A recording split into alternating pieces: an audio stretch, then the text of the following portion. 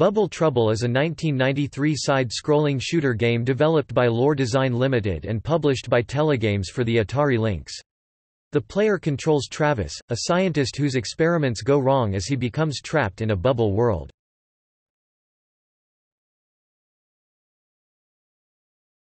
Topic: Critical reception IGN gave the game a 7 tenths, writing, Behind Bubble Trouble's screwball premise is a challenging game with a good dose of originality.